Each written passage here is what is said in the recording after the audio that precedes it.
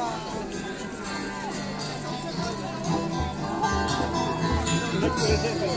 Choćby miał wędrować aż do poranka, nim wielka jasność nieba zaskoczy nagle mnie.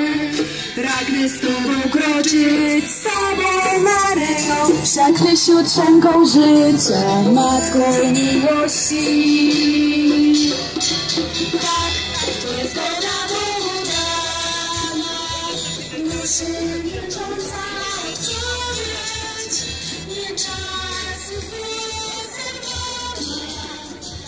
Jackson,